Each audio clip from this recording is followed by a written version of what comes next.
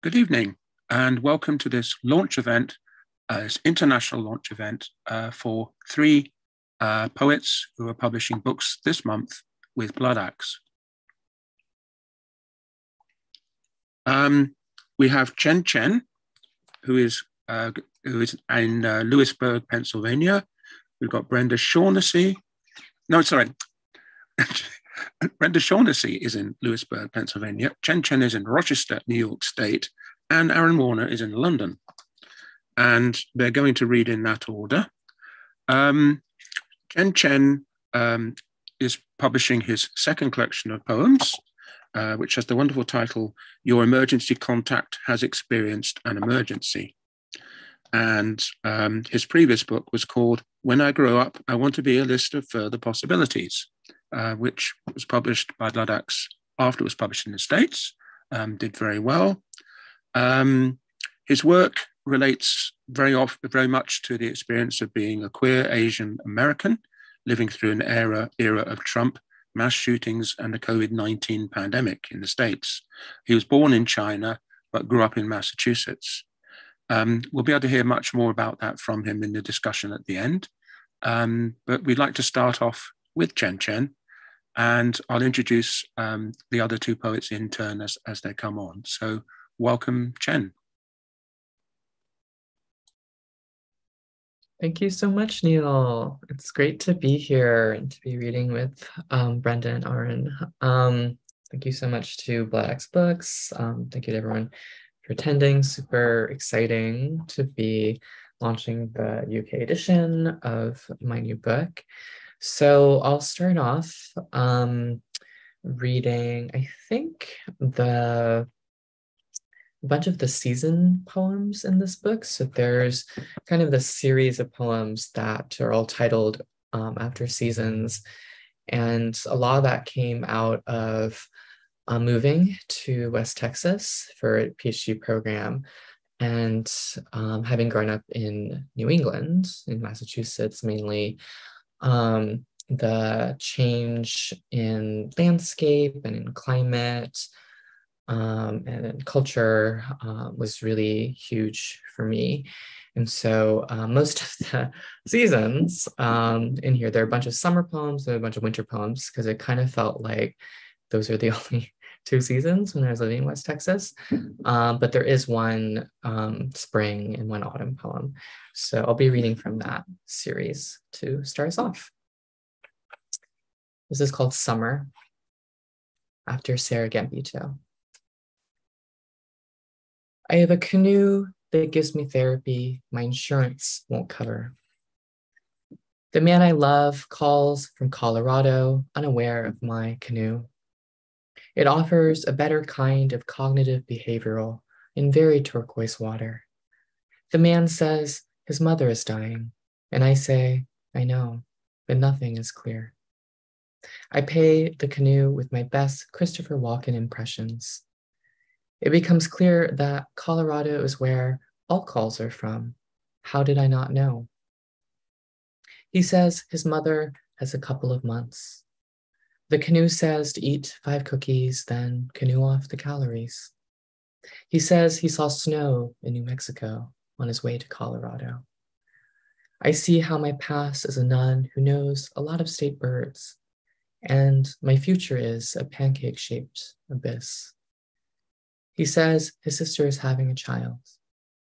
He says it's snowing and his sister is pregnant and his mother is dying.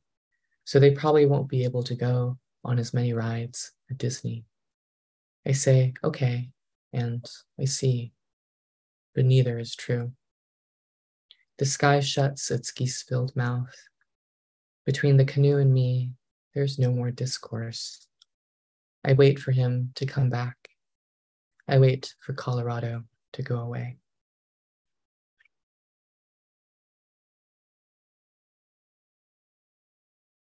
This is also called summer. Um, and I think all you need to know is that Jigglypuff is a Pokemon who's very pink and round and sings um, his enemies to sleep. He's like always carrying a mic around. Um, and Jigglypuff evolves into Wigglytuff. and maybe from the name you can tell that it's um, a tougher um, version of Jigglypuff. Um, the line that that occurs in is also a reference to a Britney Spears song. And I'll let that reference sit with you, however it goes. Summer. You are the ice cream sandwich connoisseur of your generation. Blessed are your floral shorteralls, your deeply pink fanny pack with travel size lint roller just in case. Level of splendiferous in your outfit, 200. Types of invisible pain stemming from adolescent disasters in classrooms, locker rooms, and quite often Toyota Camrys, at least 10,000.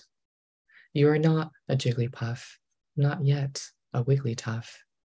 Reporters and fathers call your generation the worst, which really means queer kids who could go online and learn that queer doesn't have to mean disaster or dead.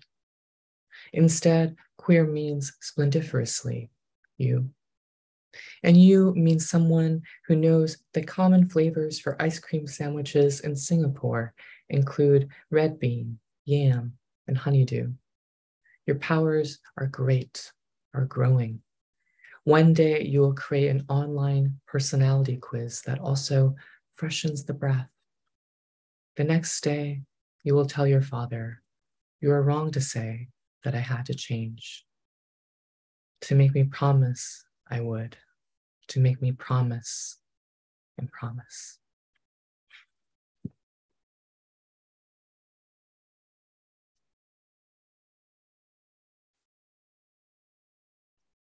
I know this is one of the winter poems in the book, and um, grackles are a type of bird um, that are very common in West Texas. Winter. The grackles flap dark and showy into my sleep. I know they are only my synapses, sparking pretty hallucinations, but still they flaunt their rough and many consonants. Kellogg's, lacuna, grief counseling. These are the sounds they like to make. Then they ask about my mother and father, whether I've spoken to them lately. In this way, they're just like my boyfriend. I tell them my cell service is terrible, that I often think of switching, and then the company texts me, Thank you for being a valued member of our community. The grackles say to speak more slowly. They're still learning human. It starts to snow, and I wish I lived alone in Paris, or maybe in my parents' house without my parents. My boyfriend's mother lives in a box. My boyfriend lives with his mother in slow, not quite stories during breakfast. I wish I wasn't tired of his sadness, but I'd rather look at the snow falling like silver confetti, another pretty thing my mind can make. I wonder if I'd be a better person if I learned to speak bird. The grackles say I should learn to pick up the phone. I ask for a different assignment. Call, the grackles say. Call back.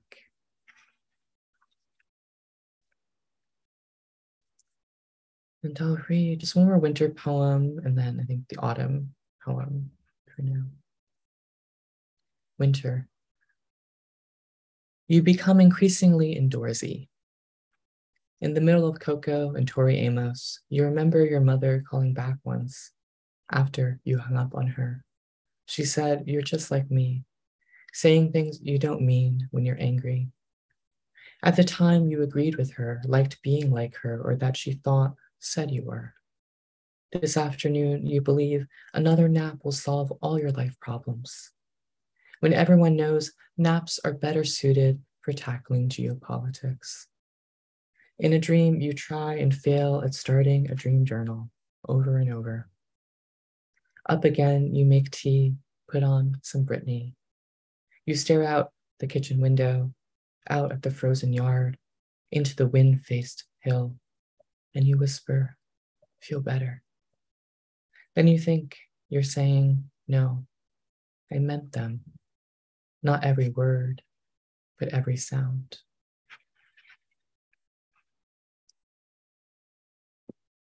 And the last one they'll read now is Autumn. Very fitting for the moment. And there's an epigraph from Basho, uh, translated by Sam Campbell. Autumn approaches and the heart begins to dream. My heart comes back in a very large FedEx box as though it has accumulated many new possessions. But no, it is just surrounded by a lavish amount of bubble wrap. Kneeling on the carpet, I lift it out and feel for a moment like I've won a raffle, though I don't recall buying a ticket. Then I bring my heart up to my face and find it giving off a mystery odor. Like a relative you want to have to buy a bus, no, plane ticket to see. Yet this pounding is undeniably me, demanding a flawless performance of the entire Lion King soundtrack, asking, Does the moon ever get sad? Needing to know, does the moon get terribly sad because it is simply called the moon and not some fancy Greek name like the myriad moons of Jupiter, like Callisto, for example, from the Greek Kallistos, superlative form of kalos, meaning beautiful. Then knowing the moon does not get sad, or at least not because of that. Of that, the moon is terribly proud. Thank you. Thank you, Chen. And um, Chen was showing you his new book, and I should give a name check to the artist who did the cover illustration, which is Muriel Leung. It's called Shadow and Ghost on Black Water and this is the uh, this the, the, the, British edition looks very different from the American edition, doesn't it? Okay. Yeah, I um, love the different covers. They turned out nicely. Thank you. Okay, um, and now we're going to have Brenda Shaughnessy, whose cover is an amazing painting by Jessica Rankin. Um, Brenda is of um, Okinawan. Um, sorry, I'm getting a bit mixed up here. Okinawan Irish American heritage. Um, she grew up in Southern California. Uh, she's published five collections in the States, and this is her first um, selected poems. It's a new and selected poems. It's not published in the States, it's only published in the UK. And um, so please, would you welcome uh, Brenda Shaughnessy?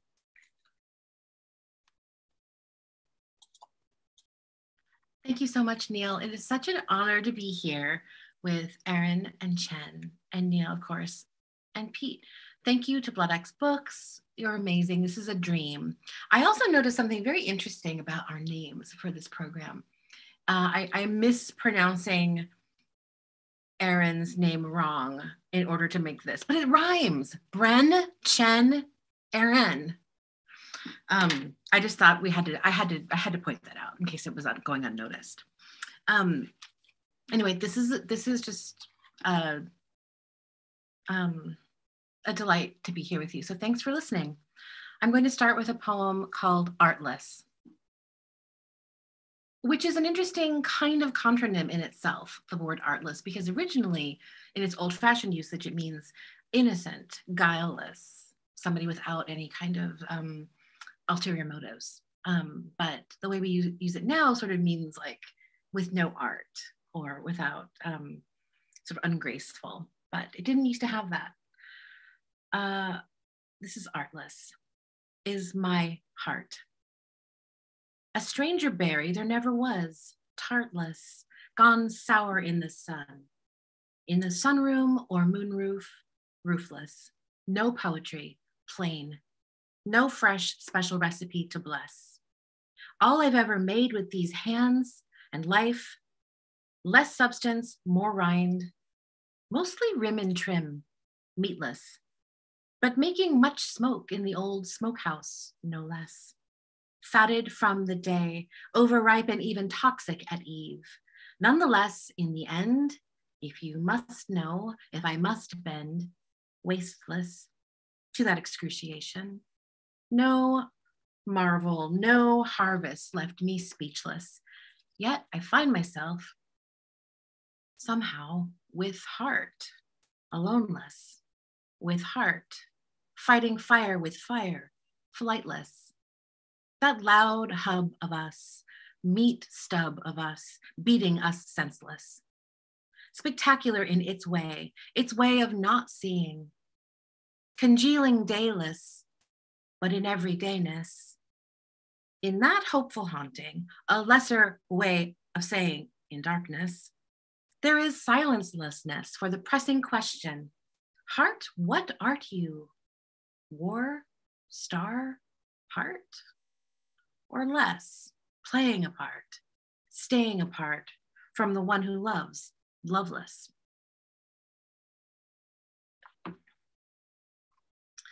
Here's a poem from my first book, which was the only book, it was called Interior with Sudden Joy, and it was the only book that was available in the UK um, until now. And that was published 20 years ago, over 20 years ago. It was published in the last millennium. What's uncanny is the body's wiry edge, singed and dried, touched at last by the curious gloves of the question guard. Too much choreography. Hamstrings, half edible and music, stretched like catgut, the sad animal pull. Our knees, two peculiar systems of locking, of looking, too little dance. Compulsion is always narcissism. I miss you, admit it. I'm gifted, I give in. I give you all my old synesthetic fire. Loved body smoke is terribly popular in dry neighborhoods, and our lungs are succulents. We share this loss of breathing. Listen for it.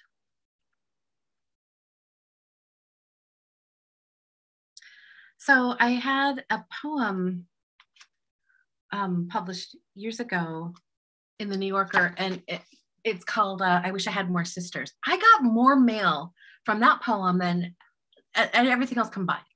People wanted to tell me all their stories about their sisters. They wanted to tell the dirt. They had the gossip. It was just I realized like we are not talking enough about this. I got a little bit disturbed at some of the stories. I wasn't entirely sure what I should do. I wish I had more sisters. I wish I had more sisters, enough to fight with and still have plenty more to confess to, embellishing the fight so that I look like I'm right, and then turn all my sisters one by one against my sister. One sister will be so bad, the rest of us will have a purpose in bringing her back to where it's good with us, and we'll feel useful and she'll feel loved. Then another sister will have a tragedy, and again, we will unite in our grief, judging her much less than we did the bad sister. This time it was not our sister's fault. This time it could have happened to any of us, and in a way it did. We'll know she wasn't the only sister to suffer. We all suffer with our choices, and we all have our choice of sisters. My sisters will seem like a bunch of alternate me, all the ways I could have gone. I could see how things pan out without having to do the things myself the abortions, divorces, the arson, swindles, poison jelly. But who could say they weren't myself? We're so close. I mean, who can tell the difference? I could choose to be a fisherman's wife since I'd be able to visit my sister in her mansion, sipping bubbly for once, braying to the others who weren't invited. I could be a traveler, a seer, a poet, a potter, a fly swatter. None of those choices would be as desperate as they seem now. My life would be like one finger on a hand, a beautiful, usable, ringed, rung piano and dishpan hand. There would be both more and less of me to have to bear. None of us would be forced to be stronger than we could be. Each of us could be all of us. The pretty one, the smart one, the bitter one, the unaccountably happy for no reason one. I could be, for example, the hopeless one, and the next day my sister would take my place. And I would hold her up until my arms gave way and another sister would relieve me.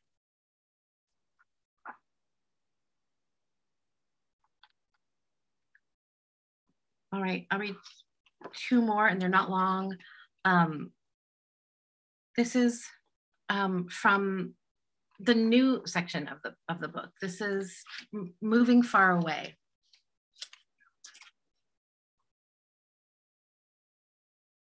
And it's a pretty different vibe. So I don't know how to kind of whoosh, whoosh, like change the scenery or something. Um, moving far away. I hear they're trying to make borders in water now to declare it a place, impose a shape, dissolve the solvent.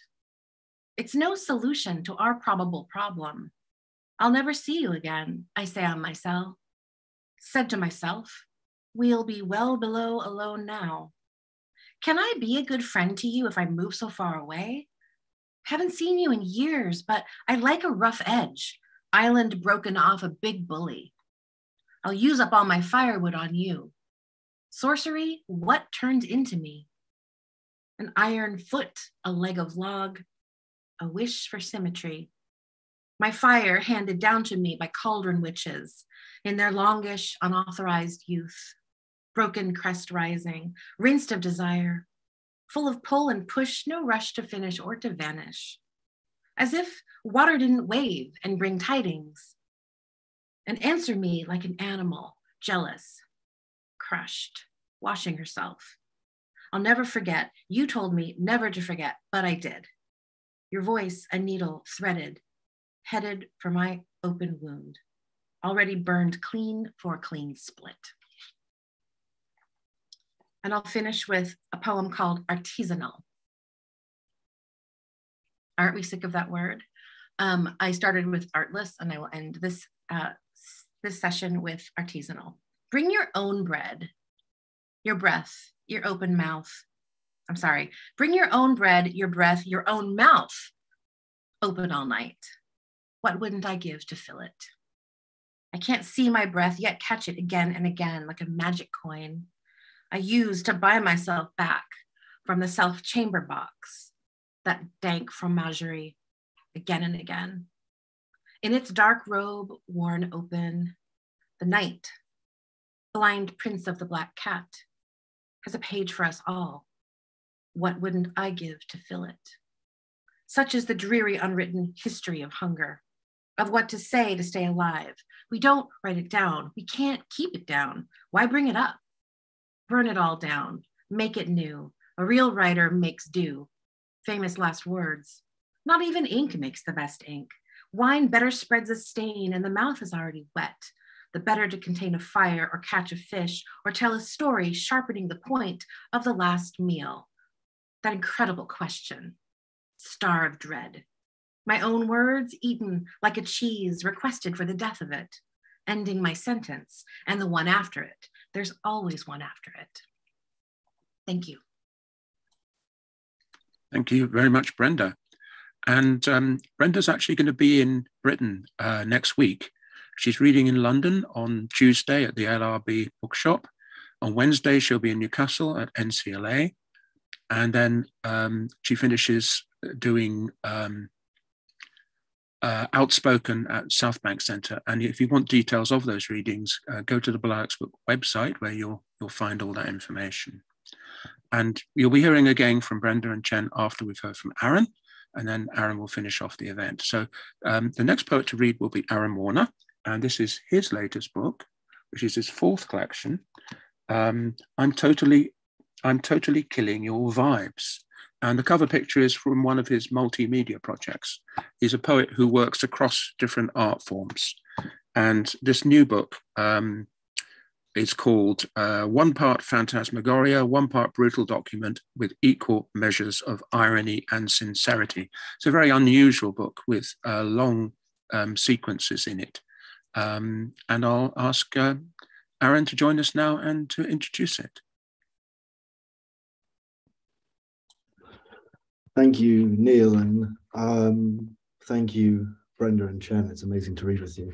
Um, as Neil said, this book is a book of sequences. It's a book in three sections. Um, the middle section is actually a book of three further sequences intertwined. Um, I'm going to start by reading five poems from this middle section, the, the section that's called I'm Totally Killing Your Vibes. And all five poems are from a sequence um, that, that doesn't have a title now, but in an earlier iteration, it had the working title customer feedback, um, which you'll, I think, see why.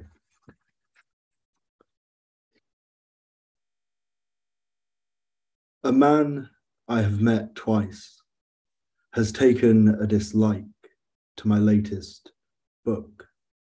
It seems he is quite knocked, or knocked enough to write about it in a periodical of some reputation. Lols. Huge lols. I'm alerted to this by Twitter. My girlfriend wakes to find me chuckling heartily. My girlfriend is less amused. She dislikes his charge of misogyny. She dislikes my use of the word slut, being taken for what Judith Butler might have called the public display of injury. I dislike my citation of Ginsberg and Yeats being taken for original lines. I'm not that good, I say. He should really be better read if this journal wants to keep its reputation, I say. And then lols. And then we really laugh because the man I've met twice seems to think what he writes matters, that writing matters that anybody really cares or reads what he or I write.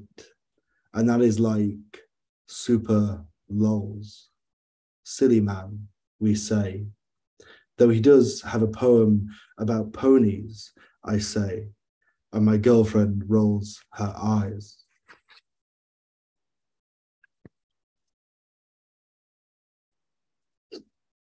The aging burger of Blackpool from whom I've bought a vintage 28 millimeter camera lens says I'm a triple A plus plus buyer.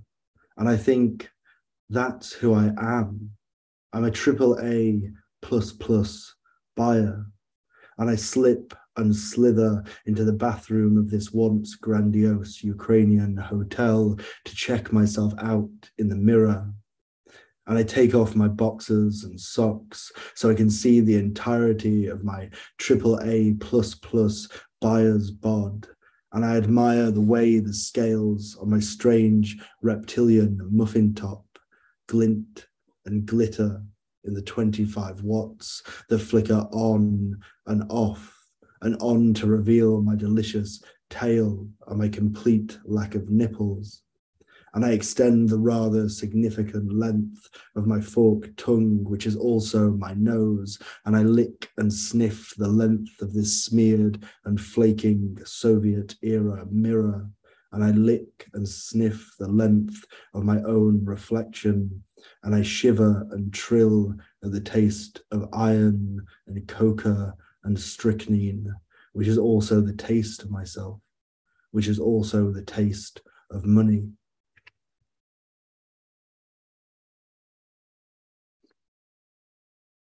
The poet laureate of the state of Oklahoma does not like my new book. This is not how Celan does it, writes the poet laureate of the state of Oklahoma.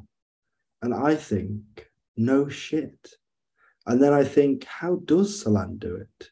And then I think, hairless and with the unbleachable stain of living.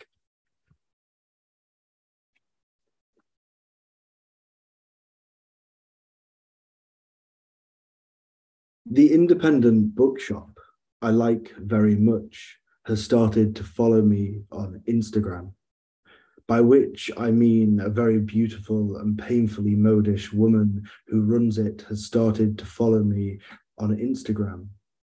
Following anyone on Instagram is also a form of affection the beautiful and painfully modish woman likes me, I think. She likes me, I say to myself.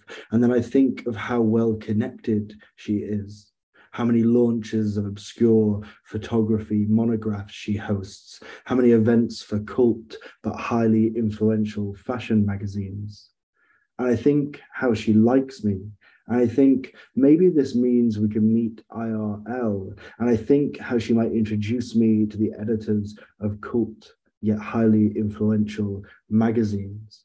and I shiver and I beam at the promise of being at the center of a six page editorial of nothing but me and me wearing those Balenciagas, the ones that look like socks, and wry, erudite captions that say, Ahren is wearing a Dior tux and those Balenciagas, the ones that look like socks, as he lounges on an Eames inspired, custom made beige velvet podium and discusses Proust with a small Bengal kitten named Lydia.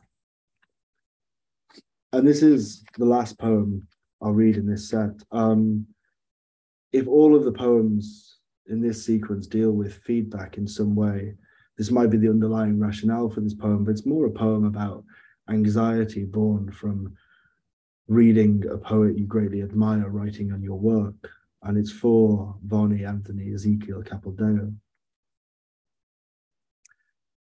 Vahni Capildeo has written an extended review of my latest collection of poems. Vahni Capildeo is one of my favorite poets, so this is a big deal. This is a pretty big deal, I say to my friend of this review of my latest collection by Vahni Capildeo that I still haven't read. Why haven't you read it? My perplexed and very short friend inquires, and I say, I lose hours each day with my finger hovering over the clicker and the unclicked cursor hovering over the hyperlink that will take me to the page on which I'm concerned that Vahni Capildeo has laid my inadequacies bare. I spend much of each day immobile, I've fallen and landed in an overrated Kubrick film in which, as always, I'm the star. And Vahni Capildeo has placed calipers on my eyes, and Vahni Capildeo has forced my eyes towards a screen on which Vahni Capildeo has bound my hands and placed me on a large, lustrously gilded fish smoker. Vahni Capildeo is smoking me like trout. And when I'm smoked, Vahni Capildeo takes an unusually strong thumb and equally unyielding finger, and Vahni Capildeo is pinching me just below my pelvic fins and curling away the crisp of my skin. And Vahni Capildeo has taken a fish slice to the pink of my flesh, has pulled away the first of my fillets, is teasing my spine, is lifting my skeleton from what's left of my body. And now Vahni Capildeo has snapped my spine from my disembodied disembodied head, and that unusually strong finger and thumb are pressed inside the back of my fish skull, and my trout eyes and trout lips fill the screen as Vahni Capildeo moves a finger and thumb together and apart, so my trout lips are moving like a talking trout, and I'm little but the bodiless head of a smoked trout miming the words, I'm bad, you know it, really, really bad, you know I'm bad, I'm bad though, without the fishiest hint of irony, and my trout face is mouthing Shimon as unutterable confession. Thank you. Thank you, Ahren. And to add to the self-referentiality of this event, I can tell you, I don't know if you knew that Vahni Capildeo is actually watching this from Edinburgh. um, yes, so let's go back to Chen to um, do his second set. Uh, Chen, welcome back. Hello, it's been great just to be listening. Um, these poems, just yeah, so glad to be here and looking forward to the discussion as well. Um, so for the second set, I'm gonna read um, just three poems. One of them's longer. Um, and these are from a set of poems in this new book that are all titled The School of Something. Um, in part because I was in um, a PhD program as I was working on these. Um, and I went right from an MFA program into that PhD program, which I do not recommend to anyone. So much school. Um, and so this first school of poem is called The School of More School.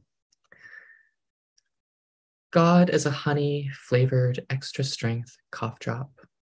I also I would get sick like clockwork at the end of every semester um, when I was doing the PhD coursework. So this is also kind of about that. Start again. God is a honey flavored extra strength cough drop. I am another attempt to confess I have not read Ulysses. God is a webinar on how to be closer to your CV. I wear faux leather, but engage in some real kinks. I talk to my neighbor's cat. I carry two pencils and one purple pen at all times. I can't decide whether the university is a refuge for the bookish lonely or a t shirt store run by a soda company. Late at night, I go out to check my mailbox as though a present has just been delivered. Tonight, a handsome bundle of air. Tonight, I am not my mucus. God is how difficult it is to stay calm. um, so also these poems, I'm thinking about uh, learning, sources of learning, how true learning can sometimes or often be um, in tension with institutions and um, formal ways of learning. So um, I got thinking about while in a PhD program, um, what are all the other sources of knowledge in my life, and also um, not knowing, right? mystery too, um, but also um, living in West Texas at that time, 2015, 2016. This is called The School of Logic. I love you, your cheese it stained mouth. I love you, your legs, two furry examples of eternity. I love you, your love of instruction manuals, original packaging, the step by don't throw it out, don't you want to know how it works? I love you, your logic, your try it. You're reaching for my hand again in the South Plains Mall, Lubbock your flirty eyes in this AC oasis of mostly shoe stores. I don't love my refusing to reach back, my logic of what if they spit, what if fists, how I see every look and think we're too much love, even like trying on shoes side by side. How I can try on these clearly gay sneakers, yet still leave a buffer between where I sit and you how I've read and never thrown out these instructions, their love for telling me, under there, under that under, that's where your family can see you. But how I love you, you're seeing, you're grinning. Hey, you're soft. Come on, hold my hand as we pass the kiosk of aggressive t shirt peddlers, the squawking crew of college boys. You're it's all right. You're, I'm here. You're, fuck it. And quick grip. And before I know it, your logic, more beautiful than mine.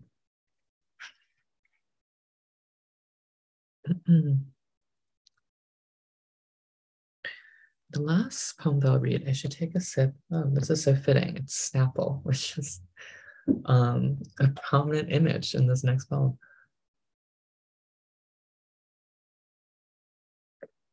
And um, I make reference to this um, supermarket chain um, in the US that's primarily in um, upstate New York, New York State, um, called Wegmans. And it was because um, when I did my MFA, I was living in Syracuse, and that's where I met my partner.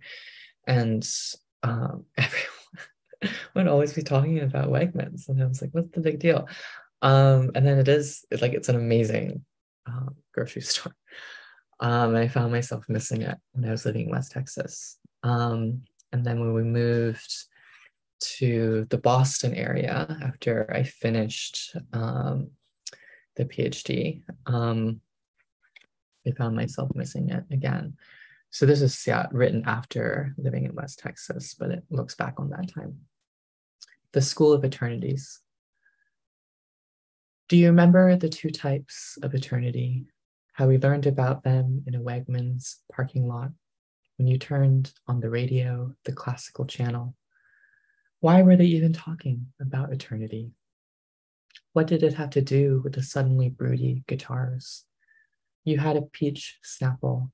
I remember the snappy, kissy sound of the lid coming off in your hand. One type of eternity, they said, is inside of time, as endless time, life without death. We were inside our Toyota. I said, We need a new umbrella. Do you remember when we first rhymed? Do you remember the first time I asked you about the rain, the expression, it's raining, cats and dogs, whether it was equally cats and dogs falling? Can you remember when you learned the word immortality? The hosts on the classical channel were okay. I thought you'd do a much better job. I remember saying so while you drove us home, our apartment, our third. Remember the day we moved into our first, the boxes of books and boxes of books my books, are sweating up three flights of the greenest stairs, and you said, never again, and the again and again, and the other type of eternity is outside of time, beyond it, no beginning, no end. I remember your hand, the lid, your hands, the steering wheel, your lips, your lips, the way you took a sip, gave me a kiss before starting to drive. Do you remember the first time you drove me home before home met where we both lived? The books on the shelves, the books in the closet when I ran out of shelves, the second closet, the second apartment, West Texas. Remember the dust, the flat, another type of eternity, that dusty sun. And driving to the supermarket, what was it called there? And that hand soap we'd get, which scent was your favorite? I don't remember what it was called, can't remember exactly the smell, but your hands after washing, I remember kissing them. Don't you remember when we thought only some things were ephemera? Can you remember when you learned the word ephemera, the word immortality? Probably the latter first. And isn't that something? Immortality first, then menus and movie tickets. When was the first what was the first nickname, the fifth umbrella, the type of taco you ordered on our 16th trip? Remember driving. Remember when we thought the world of the world. Remember how I signed the letter, explodingly yours. Do you remember you were driving? We were halfway home, only eight minutes from Wegmans. Remember when we measured distance in terms of Wegmans, like it was a lighthouse or pyramid or sacred tree? Remember when your name was Flutter's source of X and mine wasn't. Remember when I lived like a letter, falling in cartoonish slow mo down four flights of stairs? Did you picture a letter of the alphabet or a letter I'd written to you? Remember when I asked you about the rain, when the wizard jumped out, when I lied and you laughed, when I lied and I lied and I lied? Can you remember last night how I crossed my arms as though dead and arranged just so? How I pictured my face polished as though alive and no, you can't remember that, since it happened while you were sleeping and I wasn't. I was up, wondering why people always talk about death as sleep and how much I love sleep, hate death. And have I told you about the student who said, I'm really, really afraid of death? Just like that, in class. It was fitting because it was poetry class. Ha ha. And I loved it, her saying that. I wanted to say I loved it, but couldn't I was thinking about you sleeping and me not, about me sleeping and you not, and what even is outside of time, beyond, then, now. No, thanks. I prefer the type of eternity where we are inside, are us. And last night's movie, good, not great. A stray piece of popcorn still under our coffee table. Do you remember when the world signed the letter yours ephemerally. Remember when I asked you about the rain, the cats and dogs of it, if it was 50% cats, 50% dogs, 100% falling, and you said, of course. And you said, she's gotten, the flight's not till, I'm going to drive.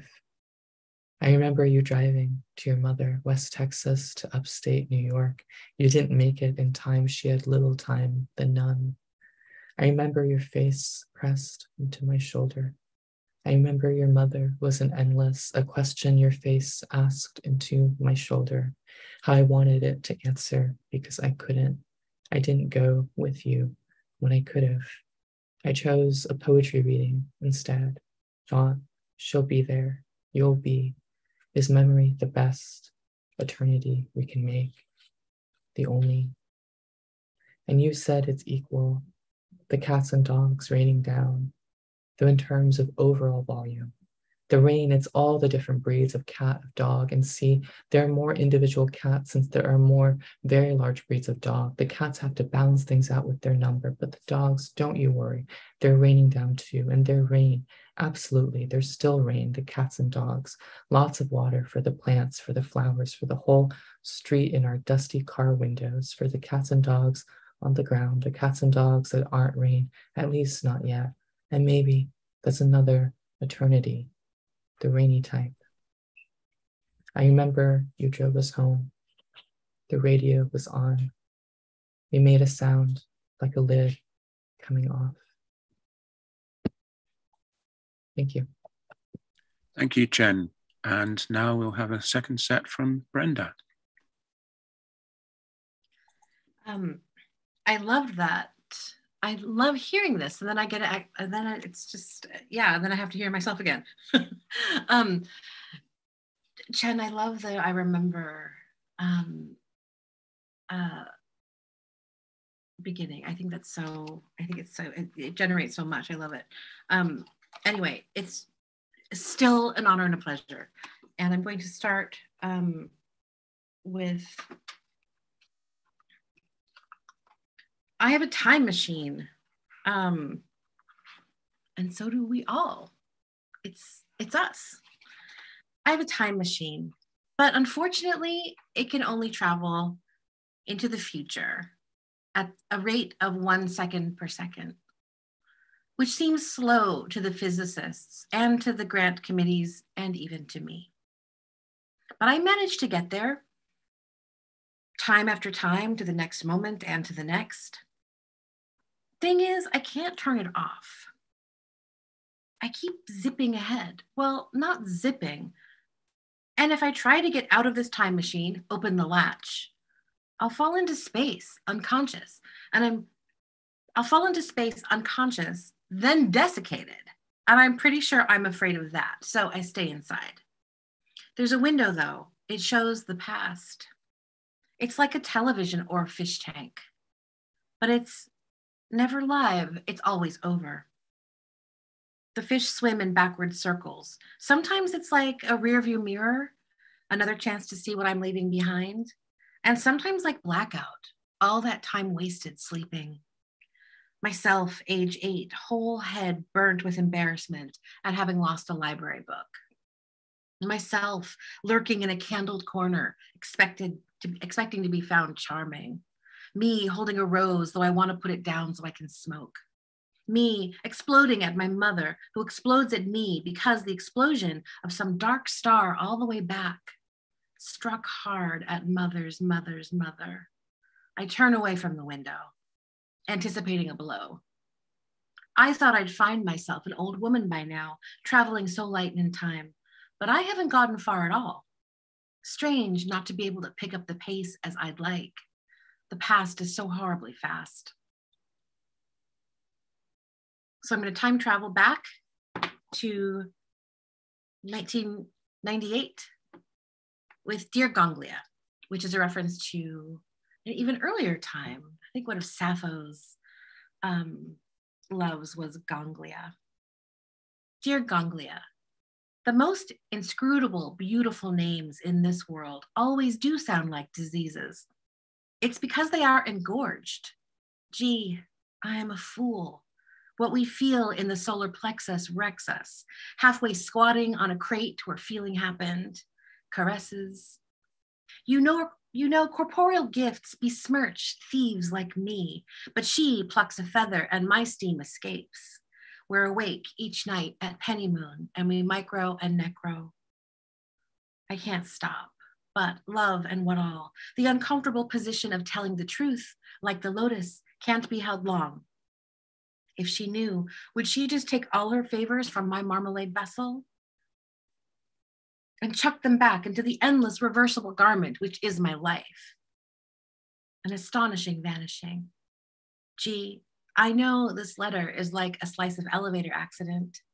As smart folk would say, everything is only nothing's truck. I would revise it and say that everything is only nothing, truncated. Love your Igor.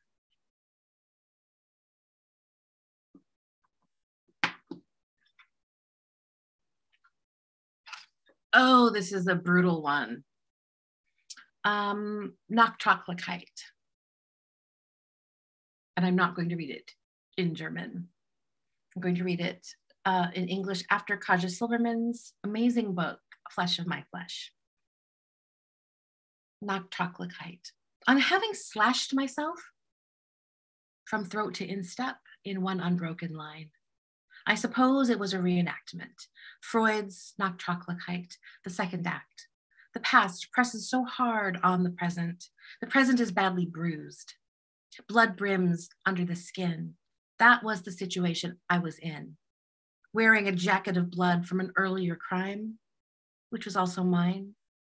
A curving zipper with misaligned teeth to show, open to show red lipstick, meat, and a stage smile have a seat. Normally, I'm much more careful.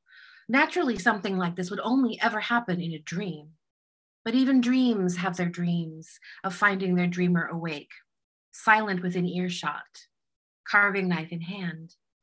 Did you know that anguish thins the blood and thickens the vessel? It was like cutting a rare steak. A minotaur, glittering with rubies and pink candles, my hands hung like electrical wires off a building on the edge of collapse. Every one of my gestures symbolic, ruined of magic. For there is no miraculous beast, and there never was, standing on the golden field of frozen honey clover. Each leaf, leaf strong enough to bend under everything's weight, strong because it bends, because it's already been crushed. But its cells know that blight, one massive cut, will slit each tiny skin surgically in order to save the field from itself. I cannot suffer the same fate twice, force my own hand or stay it, can't repeat or unrepeat. This finitude is infinite and infinitely expanding.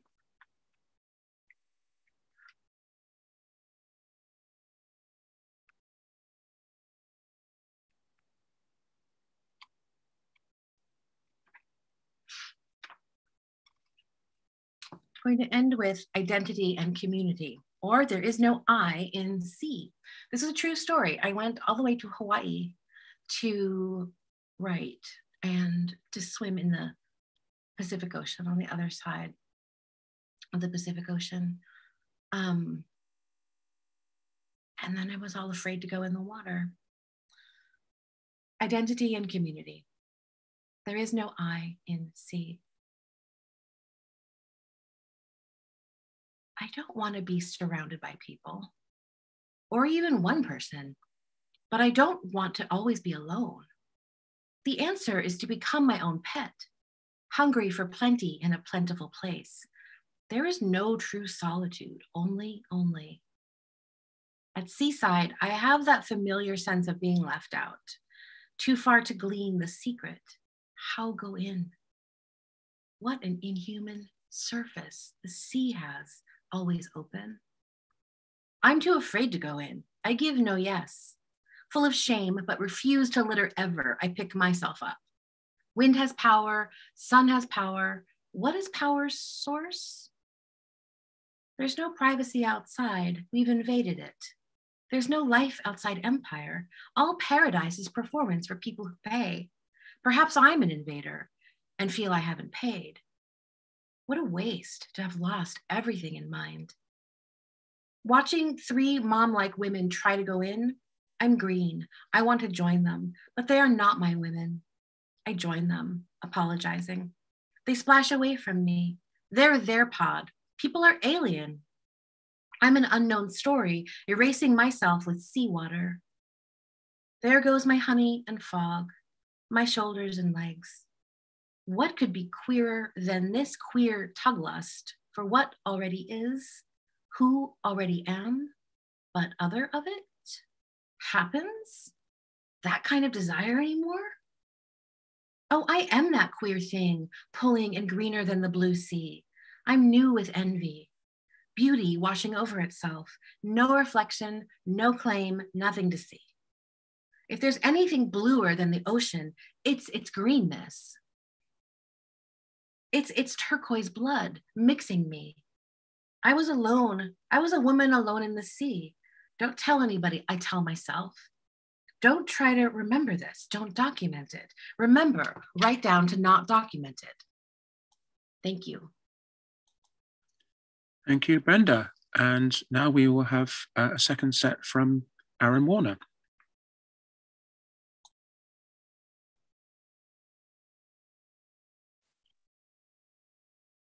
Hey, um, I'm going to read uh, the first seven poems from the opening sequence of this book. Um, I was thinking back, and Neil sent me an email when we were working on this book a few years ago now, where he described an earlier version of the manuscript as half pain in the arse, half pain in the heart. Um, that first reading I gave was probably pain in the ass. This is more pain in the heart. Um, the other thing to say is that this sequence, the sea is spread and cleaved and furled, was originally written in tandem with making a film. And the part that I'm going to read became uh, some of the voiceover for that film, as well as a sequence of poems. So I'm just going to read the first of four sections. The sea is spread and cleaved and furled. Are you happy? She asks. I'm happier, I say, and then, if you had to be an animal, which animal would you be? She cannot fit her mouth around the English for the animal she means. Have you ever been happy? She asks. She means a swan. She likes the way it wraps the long elegance of its neck around its lover until, like, forever. I don't think I've ever been happy, I say, and then if I had to be an animal, I'd be a zebra. A zebra is just a horse with stripes, I say. I can tell she was hoping for something more profound. I was hoping for something more profound, she says. In front of us, two cats are rolling on what used to be the grass. The cats are rolling in the heat. Beyond the ground gives to cliffs. It gives to the Tyrrhenian Sea. I think too much, she says. It's one of my problems. Let's play a game, I say. My skin itches on raw heat. What type of game, she says. Let's make a list of all our problems, I say. You go first, she says. We drink meloncello for breakfast. I make a silent list of my problems. I'm thinking which ones would sound like bare sincerity, I say.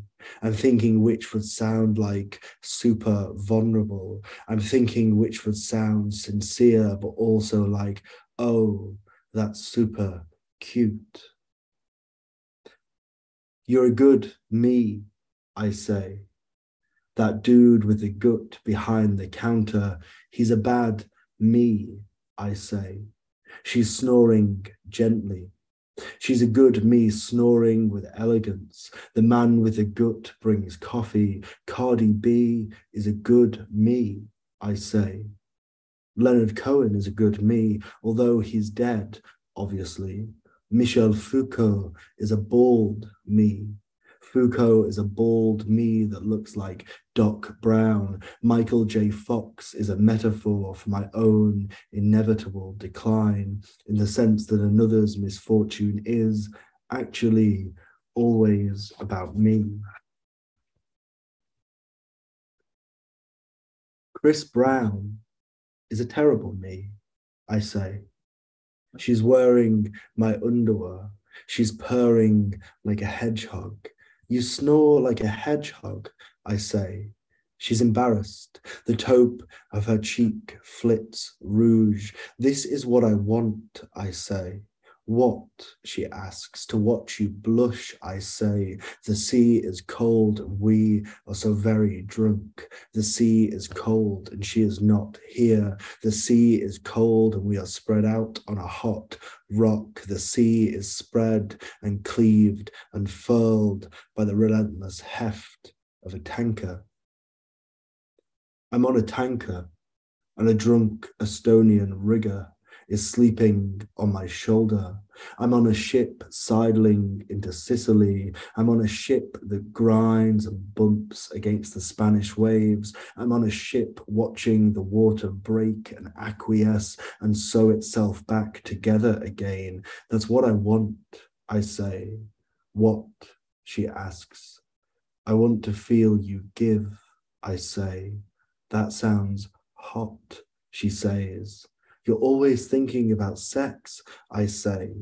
Will you sew me back together? She says. Probably not, I say. And then I say, Are any of us really anything other than gaping wounds? Are any of us more than a patch of weakened bone? That's dark, she says. I know, I say. And then I only love my bed and my mama. I'm sorry, I say, because citing North American hip hop artists is something I do, I say. It's something I do to ease the tension. It's something I do with the kind of irony you should read as sincerity, I say. This isn't cynicism, she says. No, I say. Or if it is, I say it's also love. It's also love, I say.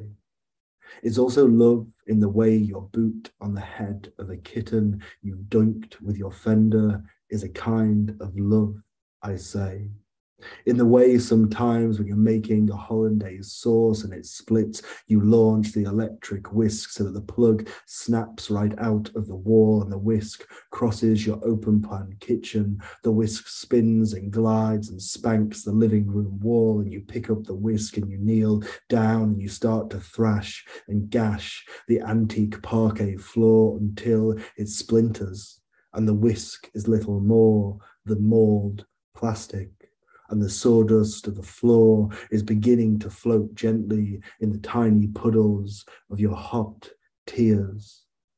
It's a bit like that, I say. Thank you. Thank you very much, Ahren. And we're now going to come together for, a discussion. So um, if everyone would like, like to turn on their screens and their audio uh, we can have a talk together. Um, and Brenda, we still have to see. Brenda, thank you. Thank you coming for coming back. Um, Ahren's just finished, and uh, it occurred to me I did plug Brenda's live readings next week. Um, you, you've got an event coming up in London, haven't you, Ahren, for this book? Yeah, Friday, a gallery called TJ Boulting, Uh, Friday the twenty first at six thirty. Right, thanks. Okay. Well, um, to kick off the discussion, um, it seems to me that all three of you are exploring the self in your books, but there's sometimes a thin line between exploring the self and exhibiting the self.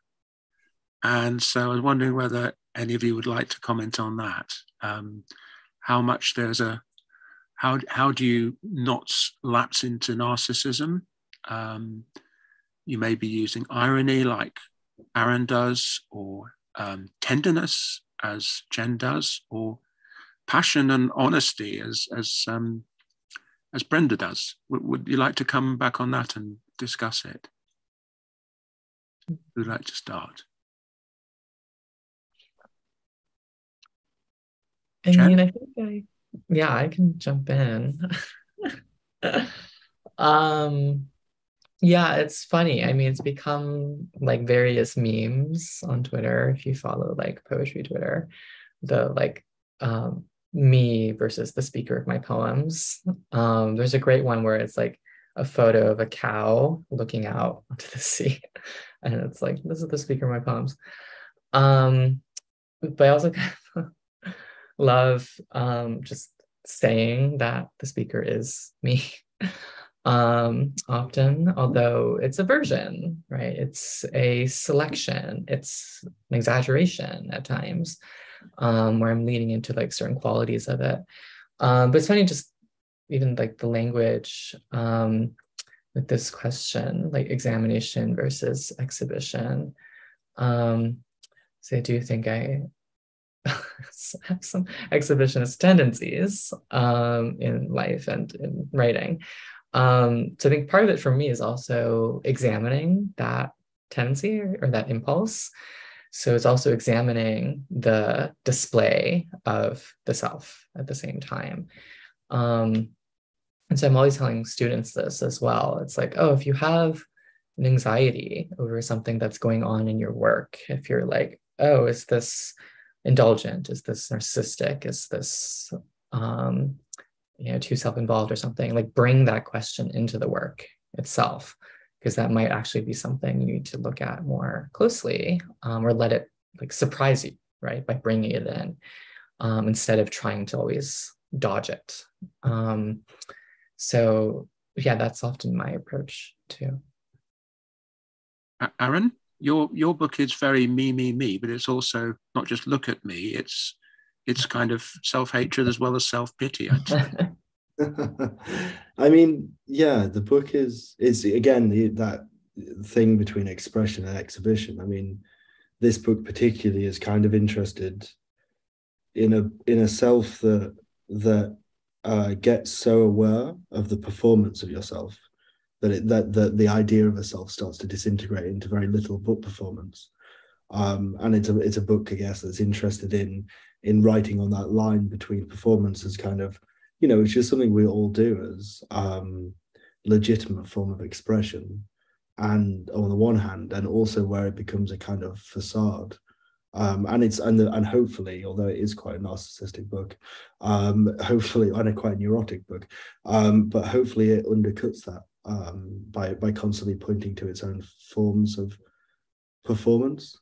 Um, I mean, I think what's really interesting reading Chen's and Brenda's book is how, it, I mean, and Neil already touched on it, but there's this sense of dialogue in Chen's work where the self is is is constructed through dialogue, which is at the same time assertive but also tender and also loving, and it's amazing. And then in Brenda's work, there's this um, this kind of amazing way that the self just kind of takes on a trajectory that kind of you know a trajectory where there's I mean, especially in the later work where in the longer poems where um, you just you can feel this kind of intelligence moving through its expression and then just like twi- like twitching and shifting paths which is incredible and you're also in both your books you're also talking to someone else aren't you i mean chen um, whether it's autobiographical or not, he's talking to his lover or to his family, and you're talking to your lover or your ex-lover.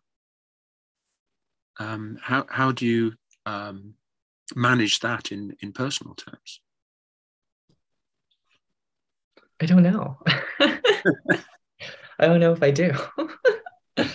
um, it's just um, how I write. Yeah, it's often yeah, it is dialogue, um, a lot of um, ideas, images, lines. Um, the sense of play, yeah, comes from conversation with people that I'm close to. Um, and that might include that I'm in conflict with as well, uh, especially when it comes to family. Um, so yeah, it's a lot of conversation. And I was thinking a lot in this book about um, like technologies of communication as well, right? Like the emergency contact, the phone. Um, I was just talking with a friend about this the other day, how funny it is that we still say like hang up, um, even though you're just like pressing a button, right? So it's like the physical gesture itself has actually changed, but we still use the language, which was once literal, that's now become figurative. And so the um, vocabulary around communication is really interesting to me too.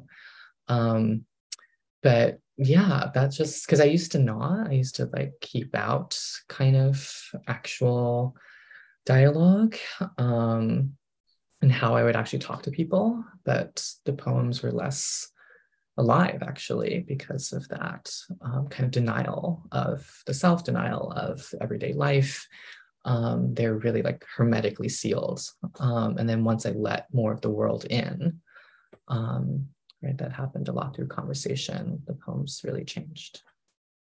Let's bring Brenda in here. The conversation aspect of it's really important because when I, I don't necessarily see these books as being like, me, me, me, or look at me or whatever. It's sort of like I see people desperate, to, myself included, to be to be heard and to be able to say reality the way I see it, the way it feels to me. And it's not because one likes the sound of one's own voice, although that's not not there.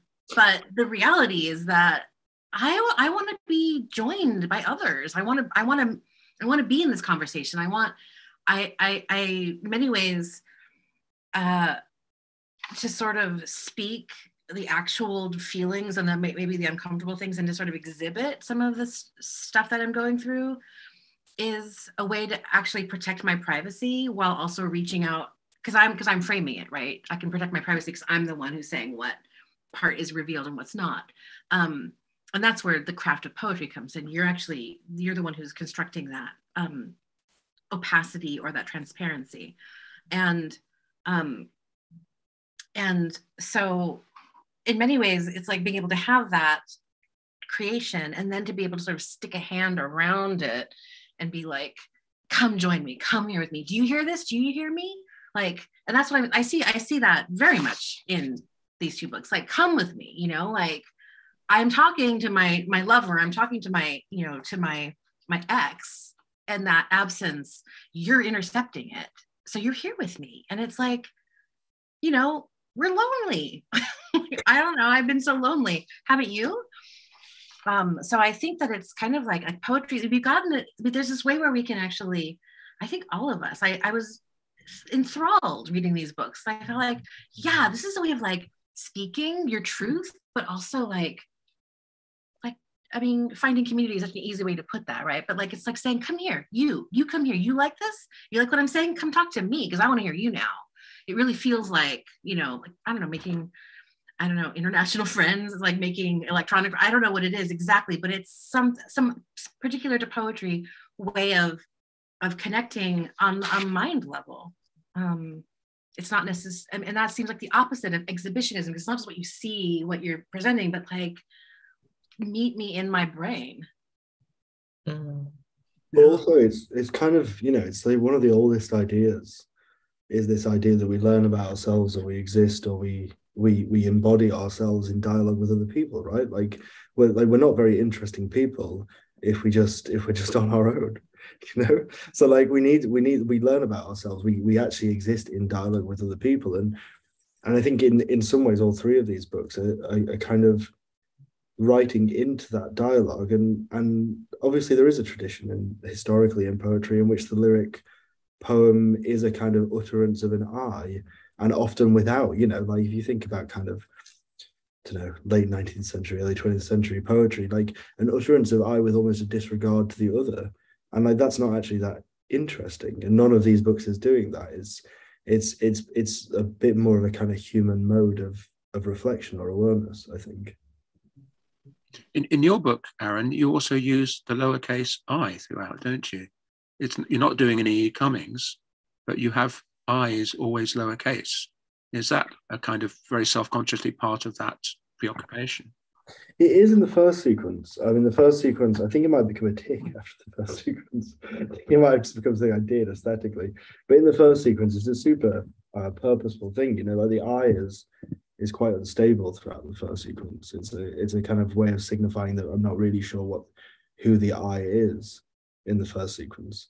And I think I think there are poems in which the I is capitalized, especially in the last sequence, where there's a bit more resolution. But um, yeah, I mean, it was it was a kind of graphic way of slightly minimizing that big I that so much of old poetry relies on, right? Yeah, that's how I took it. It was a kind of way of balancing that. Yeah. Um, can I ask you about change? Because um, it seems to me that your work shows change through all your books. Uh, maybe we should kick off with um, Brenda on that because her book covers five previous collections and new work. And over that period, your work has gone through various changes. I was wondering, Brenda, putting together this selection, uh, how aware you were of those different phases and how you see the, the five books moving from one into the other. I mean, it's a, you know, it's a portrait of a of a life pretty much. I mean, it's they always say that thing of your first book takes your whole life up until that point to write and you're using your material from your whole life to write that first book. And so the second book is like what I got to write about the last 2 years, that's it. that's not enough material. But um but yeah, I think um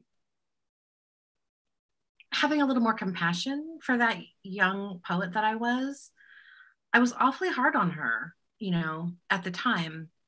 And then as I progressed in my life, I felt like I, I really, I didn't want to sound, it's funny, people always worry about sounding like themselves or whether they have a signature voice or whatever. But, you know, like, like people always say too, wherever you go, there you are. You kind of can't lose your voice. Like people, you can do something that people don't like you to write, but and you can change your style. And someone might say, I don't love it, but who cares? Um, it's it's it comes essentially from you, and you're the one living that life. I think that the one thing that came about um, in my third book is I I felt like no matter who reads this, no one's ever it's not going to ever get back to the people i'm writing about. So i can use their real names right? And so i use people's real names and it totally came back. And um it's just on some of it's a little gossipy and i probably should have changed those names and that's sort of funny and goofy but then i also started using my children's names and my partner's name and now i'm like should I have, I maybe shouldn't have done that. I don't, I don't know. Um, all this is to say is that everything changes, you know, mm-hmm. like both everything changes in terms of what you're thinking about and decisions you made. I go back and I edit old but, but in, in our Andromeda, you would have had to have used ridiculous. Your, yeah, in our Andromeda, you would have to have used your son's name, wouldn't you? Because of how that whole book worked. I yeah, I did, but then I continued to, you mm. know. Um, and then I'm like, wait a minute, isn't this a thing? Aren't parents like not supposed to do this? I don't know. I mean, the the rules change too, so it's not like I can keep up with everything.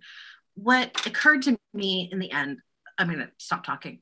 In the end, was that I really want to only write what I want to write. Um, and that's that seems obvious, but there was a, a a long time in my life where I felt like I needed to write what I not not that I was supposed to write it, but that like what would I write if I was going to write something kind of idea, you know, what what would what would be the thing that I would write next? And it was a kind of like uh, and I finally just decided like I don't care if it's sloppy. I don't care if it's messy. I don't care if it's half-assed. Maybe that's what I want to write. And it just sort of was very freeing because I felt like I had to be very tight, very polished. Like it had to be perfect. I had to be, I had to be so incredibly smart, you know, like God forbid someone thinks you're stupid. Like now I kind of feel like maybe I could write something stupid. Kind of liberating. Mm. Chen, your your your work started out being about your difficulties of being a young queer boy growing up in the States with Chinese parents and the problems you have with school, the family, and all that kind of thing. And it's developed, it's flowered. I mean, I say flowered looking at the backdrop behind you. It's really flowered from there into something on another level, hasn't it? I hope so. a lot, a lot more, um, and the humor in particular has got quite elaborate. Yeah, it has. Um, yeah, I think this new book is both darker and funnier, and um, the two really feed each other, right? Like the best comedy often comes from tragedy or you know, difficulty. Um, so I, I, love layering that kind of tonal complexity. But yeah, I had a lot of anxiety. Um, after the first book. Um, as Brenda said, like you have your whole life up to that point, and then it's like, and then why? I was really like, how do people keep doing this? It just seems like kind of an insane thing to do with your life, um, which maybe it is, but in like a delightful way at the same time. So um, yeah, it took me a while. Like I was partly glad that I was in a PhD program and so busy, um, even though it was kind of really stressful in other ways. Um, but I kind of had to just like, you know, take classes and teach and do all these other things and prepare for the first book coming out.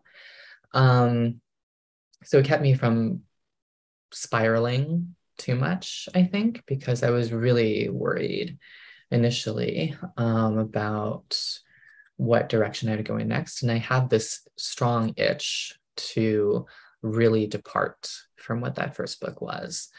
Because um, I was like, I'm sick of looking at this thing, sick of writing about myself, sick about writing about family. Let me do something completely different. But then everything that was coming out um, when I would write that was you know worth a damn was about those subjects. And so i'm like oh right your obsessions choose you. And you know your task as a writer is not to ignore those obsessions but to be really aware of them and to try to examine them from all sorts of other angles right and bring other kind of formal um, devices and bring other imagination right, to those subjects and themes. So that's yeah where I ended up kind of pushing things, and so um, I try other things in terms of um, line and sentence and where the images go, but also the settings are quite different, right? I mentioned just writing about and from West Texas, and so that landscape um, really affected things as well. And ultimately, I was I was glad for that, although it was also quite an adjustment living there.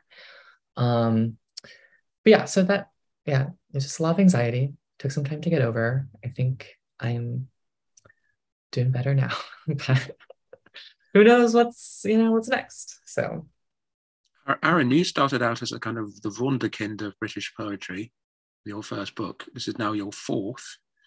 And your work has become much more engaged with contemporary culture, mm. with the whole vulgarity of modern life, which you embrace at the same time as you attack it. Um, how how do you see those phases that you've gone through in your work? Um, I think I think for for for better or worse, I have a I don't know if it's a poor attention span or what it is, but I have an inability to write the same kind of book. So, so you're right. The first book, really, the first two books were quite formally tight and quite formally uh, in, intense, and and in, in many ways quite uh, uh, lived in a world of kind of high cultural illusion. Um, and I, I, you know, I mean, all of those things I still enjoy, um, but I just don't want to do the same book again and again. Um, and uh, I think it's interesting to do a book in which you I mean this book is so much looser, I think, even than the last book. You know, I mean the last book had these long lines, which this one uses, but but the kind of tonality of this is so much uh, freer, partly through writing in in response to or in in dialogue to working in film, um, and working in sequences like this. Um, but you know, I mean, I was joking to a, a friend actually the, the other day. I was saying, you know, or maybe the next book will be a book of sonnets or a, a book of villanelles. You know, it's like for me, it's more like it's it's finding a form to fit what the book is about, and it's kind of like you know the. I also, I mean, I don't know whether this feels like some kind of superstition, but I kind of feel like the form of the book is going to be what it's going to be, and you can write what you can write at that moment. Um, and and the only thing I know is that every book is is quite a departure from the one before. So I'm not sure whether you can see a trajectory except towards increasing looseness and maybe increasing vulgarity. Um, although there are poems in the first book that are fairly vulgar too. So, you know. Um, at this point in our discussions, we usually like to ask our poets who are taking part if there are things they'd like to ask each other, having read each other's books and uh, heard each other read. I was wondering whether any of you would like to chip in with anything you'd like to say to one of the others. I really want to know what both of you are reading. reading.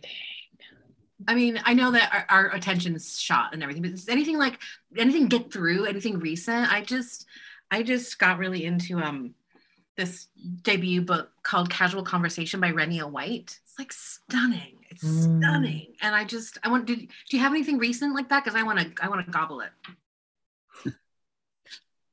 Oh. Well, what comes to mind? I mean, I've, I've been very slowly reading Victoria Chang's Dear Memory, um, the nonfiction book, also because I've just been thinking a lot about epistolary forms um, and how much I love them and why, and um, wanting to teach a workshop all about letters and poems. Um, that's one, and not recent, but I finally got um, Linda Gregg's um, all of it singing, um, the selected volume. And it's just incredible.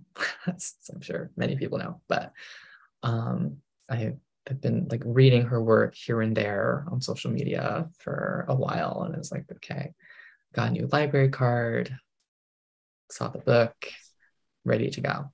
Yeah.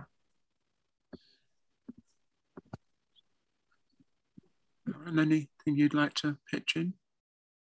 I mean, I was I was at a reading recently by a, a small publishers called Monitor Books in London. They put this amazing reading. I mean, I knew Nisha Ramayya's work quite well, but not not that well. And there was this amazing double. I mean, it was a triple reading. Uh, a poem called Holly Pester was amazing, and then a film work by Elizabeth Price, uh, who won the Turner Prize, and and but it was essentially a long poem uh, and it was kind of stunning. It was like absolutely stunning. And then nisha Ramayya read after it and and so i was going back to her last book which is states of the body produced by love i think. I think that's the one i'm thinking of. Um and and thinking about that book a lot but also just thinking about that particular conversation in elizabeth price's work which is video but so often incredibly incredibly literary um at the same time. And and and yeah, I mean, those are the two things that come to mind at the moment. Anything any of you want to pick up about each other's work tonight? I'd like to respond? Yeah, well? I want to ask um, Brenda, but also Ahren, um, like about just picking what to read from multiple books. Um, and Brenda, I'm so glad you read um, the artless poem, also the sisters one. Those have been favorites of mine for a long time. I love teaching those as well. Um, but yeah, just yeah, looking over so many poems. Yeah, that's why books. this that's why this um, volume is really such such an exciting thing because I can just read from it and go through all these different parts. And and how do I pick them? Yeah, in a way, it's kind of like those are my like I have like three hits. I have three hit poems. Those are two of them. So I just sort of do that. Um, especially when I'm feeling like I don't, especially when it's when we're sort of removed sensorially a little bit, like when we're mm. on on camera. It's not the same thing yeah. as being together where like different things can happen and I feel more experimental. But yeah, um I I was listening to what you were saying, Chen, about feeling like you got sick of your uh, your first book and now but then you read from this one and you don't go back to the old book probably in readings in in new readings right? Um, i mean do you feel that way Ahren? Do you feel like you don't go back to the original ones and you sort of are always like you're promoting this book so this is the one you're reading from? Yeah i find it hard to read all from all the books. I mean there are poems i like in all the books but i still find it hard to read them. Um, it's always the newest thing. In many ways i think it takes some of the pressure off. I feel like i feel like maybe okay okay honestly it's probably something like i'm not i'm insecure about the new work and i read i, I sort of like try to go back to the old but then it feels kind of canned and then i try to like push myself. I'm still oh, it's still very much a work in progress. I don't know what i'm doing. Even though i'm kind of a, a pro i still don't know what i'm doing. Maybe that's my secret? I don't know. Isn't it also like the difference between you know you're selecting poems as a writer? I mean, I was just thinking about this listening to to Brenda's reading. So, um, on the one hand, like I know for me, when I'm selecting poems to read as a writer, I'm always picking the newer stuff, right? Because it's what's is what's exciting to me. It's what I want to read. And then I was just so pleased you read Nacht Trig the Kite. I don't know, I can't pronounce it because it's just such an amazing poem. And it's from the middle of this, right? It's page, I looked it up, it's page 94.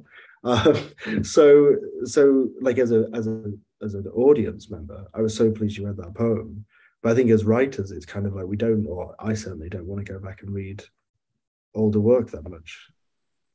Well, I did, you know, I, in many ways, the choice of these poems were, were in response, you know, they were very much in response to your books. I mean, I, I don't know if you did this, but I, I like was listening and reading along and then kind of like re- reordering my set list according to what I was hearing. So I, I, was sort of hearing, and there's there's kind of a, I wasn't trying to like respond to, but um, but when Chen was reading this, I remember, I remember, I remember this amazing poem that you read. I just loved in the in the book and hearing it. It was just stunning.